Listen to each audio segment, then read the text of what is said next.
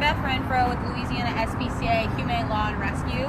Um, we just want to give you a little update on what's been going on since all of the Facebook posts regarding the horse that was punched in the face. Um, this is said horse. Um, today we seized the horse. Uh, we were able to cite the owner.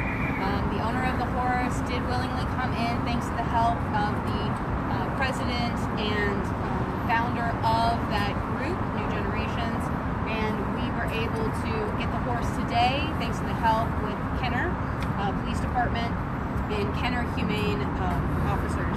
So this horse will be housed here till trial. Uh, he was charged with cruelty to animals. Uh, due to the charges, the horse will have a bond set to where the owner will be financially responsible to pay for this horse while it is in our care. Uh, but he will be well taken care of while he is here.